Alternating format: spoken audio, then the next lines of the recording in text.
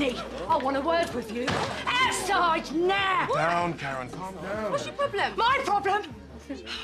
All right, fair enough, we'll do it here. That little sister of hers is a drug dealer. Yeah, she put my boy, my boy, in hospital. No, she found him and phoned an ambulance. Are you having a laugh? Do I look like I'm laughing? MDMA. He got it off her, and whatever they got it with has proper, proper messed him up. Right, well, I don't know what you're on, Karen.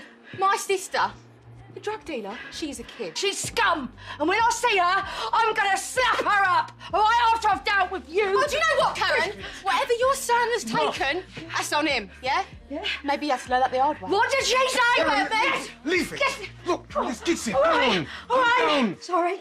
All right. No wonder that girl's a wrong one when all she's got to look up to is you. Right, yeah. come on. This ain't over, all right, love? You hear me? This is not over. Come on.